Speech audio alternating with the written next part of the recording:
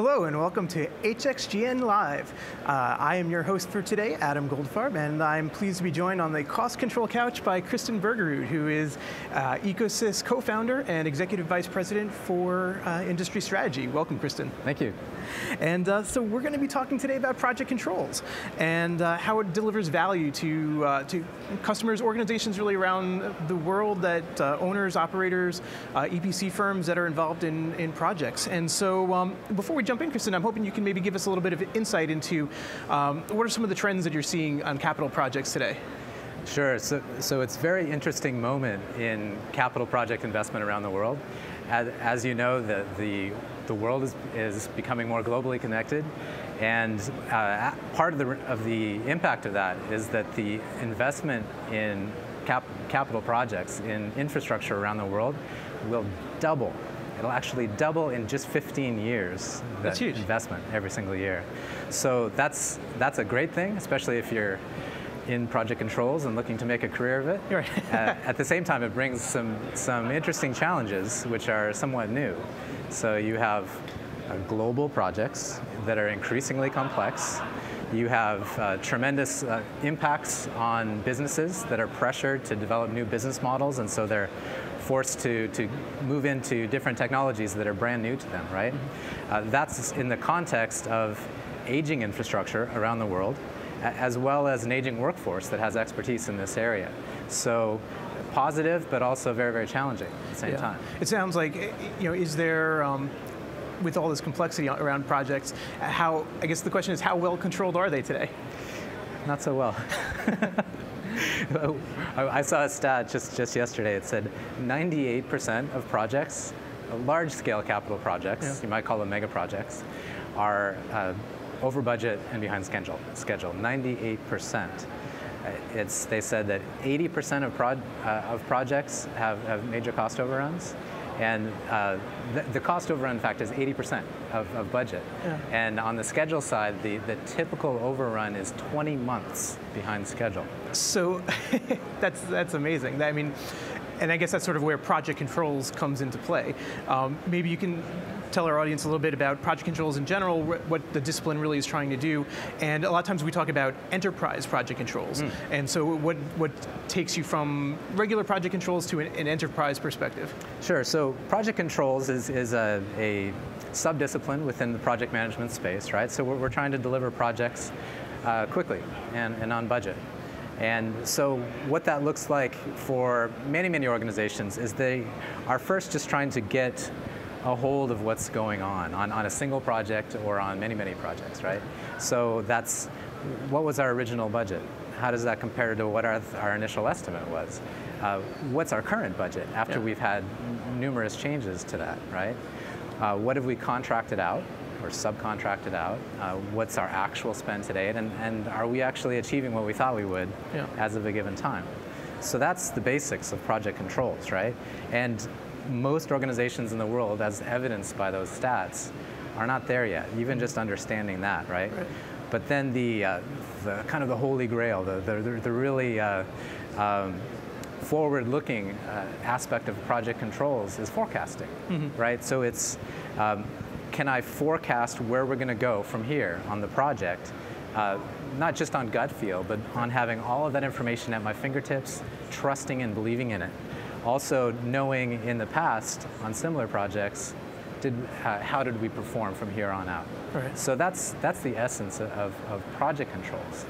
Now, some of our customers who have achieved that over the past years with, with, our system and with their, their business processes, now they're looking around and they're saying, you know what, we have a treasure trove of data at our fingertips and we believe in it and it's, it's demonstrating success on our projects what else can we do with that, with that information, right. right? And so that's where you get into true enterprise project controls, where you're marrying up this day-to-day -day tactical information with the strategic side, right? Your, your five-year capital plan for your organization, your dynamic portfolio optimization across all of your projects. How do we shift from uh, one set of projects to another based right. upon a change in the business direction or based upon budget cuts? Okay or a number of other factors, right? right? So it's, it's doing strategic planning, but based upon confidence that you actually know what's happening. And if, if there's delays in one area, we can respond accordingly. That's phenomenal. Um, eh, you know, is it difficult to achieve enterprise project controls? Like, how, how, how have people been doing that uh, thus far? Uh, yeah, so it's, it's certainly a challenge because yeah. it, part of it is organizational. Right. No matter what technology you apply to it, yeah. uh, you need to have an organization that's committed to doing so. Yeah. So in, in order yeah. to really kind of build um, support for taking on this initiative, um, is are there particular benefits that you could you know sort of communicate to senior management to get them excited and say like, hey, look, you know, this is what, you know, th there's real value to be realized in, in taking an enterprise perspective on project mm. controls. It's not just something for the guys in the back room to crunch numbers, it's, it, there's real value to be realized here. That's, that's, that's a really excellent point because if, if you're working on a single project, you understand the project controls uh, space, but often the, the executives, in, in, many cases, they're maybe not quite so intimate with the day-to-day -day on project controls, and they don't quite understand, well, why, why was this delayed? Who mm-hmm. should we fire? Right. You know, that, that kind of thing. They get involved when it's too late. when, yeah, yeah, yeah, which is a great time to start an enterprise project controls initiative is after a tremendous failure. uh, but what we find is, is that uh, Project Management Institute, for example, they, they recently did a study and, and they showed that um, the failure rate was somewhere around, hovering around 50% for projects that were not closely aligned to corporate strategy, mm -hmm. right? So one inference from, for that could be if the executives aren't paying attention, probably not a lot of other people right. are as well, and it's less likely to do well. Yeah. And so uh, the if we take an enterprise project controls perspective, yeah. and if you get that executive sponsorship, the benefits are they, they just write the, the business case for you. Right. Uh, we've we've looked, we've done a ton of research, you and I, and, and yeah. others in, in, our team, at at uh, what the industry is saying, industry experts as well as our customers and uh, people everywhere, everywhere around the world. And we're seeing statistics, for example, that change management alone can influence your project costs up or down by about 12% if you yeah. do it well, right? Uh, the, the contract management side of things, there was a study recently, about 9% improvement in cost performance just through better enforcement, understanding and execution of, of contracts, right? So, so, there's real financial benefit to Huge. be realized. Yeah, yeah. So uh, that's let's be super conservative. If you, if you improve your billion dollar project portfolio, for argument's sake, by one percent by eliminating projects that are less strategic, or consolidating them with similar projects. If you uh, improve your contract management processes uh, achieve just a 1% increase in, yeah. in, how that's handled. Change management, 1%. Uh, you know, these quickly add up. We're, we're finding very, very conservatively that 4 or 5% of your port, port, portfolio spend can be saved through, through better enterprise project controls. So back to that billion dollar portfolio example, that's a lot of money. Yeah, no, it absolutely is. Yeah. And, and so I, I, think a focus of, of cutting these unnecessary costs, you know, eliminating this waste, grant, you know, adding efficiency to the system. It well seems it seems like the type of thing that uh, that a uh, an organization should be interested in. Yeah, yeah. So there's there's the the efficiencies, and that's the project controls team alone. One of our, our customers, an EPC firm, they, they, they determined that 61% of their project controls staff's time was spent on what they called wasteful activities. So yeah. this is fixing errors in Excel. This is consolidating Excel files. Being mired in this things. manual processes. Yeah, this is before EcoSys, yeah, right? Right, right. Yeah, of course. But, but, that's over half their time, and and this is in a climate of tremendous competition for those resources. Right. Who are part of the aging workforce and retiring, right? Yeah. And, and so the project controls efficiencies are one thing, but then uh, if you have the right system and the right processes in space, in, in, in space, in, in, place, what that's going to do is it's going to extend far beyond that. So yeah. the executives are going to be on the same page as the project team. The, the contractors and the owners have visibility into what's going on. The contractors and subcontractors, everyone in the, involved uh, has is benefiting from these efficiencies. No, that's that's great. And so so let's, let's kind of take this from the conceptual of, of we've got executive buy-in. There there's a momentum in, in trying to improve the way that we operate as, as a project-driven organization to you know really sort of accelerate the the engine for revenue how do we go about executing and, uh, you know, or, or, realizing the promise of, of enterprise project controls? How do you realize the promise? Well, I think you need to start somewhere, right? And so often that's the, it's the basic blocking and tackling. What, what's our biggest, our biggest pain point? Do we just, uh, do we struggle to even compare the actuals coming in from the accounting system with what the what what it says in the schedule, right? Yeah. What what the project controls people are budgeting and forecasting. Can Yeah. we just bring that together and create visibility? Just by achieving that can be extraordinary, right? If, Yeah. if for the first time ever you can look across your entire organization and you can slice and dice and look at it from really any dimension. Yeah. What's our workforce utilization? What's our our spend? What's our revenue? Our, our margins if we're, if we're contractors? Uh, are we picking the right projects? So, so just those basic blocking and tackling can give you tremendous, tremendous value, right?